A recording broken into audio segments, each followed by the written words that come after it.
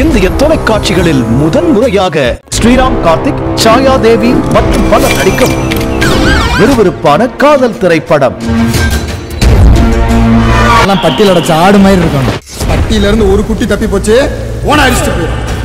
கன்னி மாடம். காண தவறாதீர்கள். வரும் இருபத்தி இரண்டு ஞாயிறு காலை பத்து முப்பது மணிக்கு.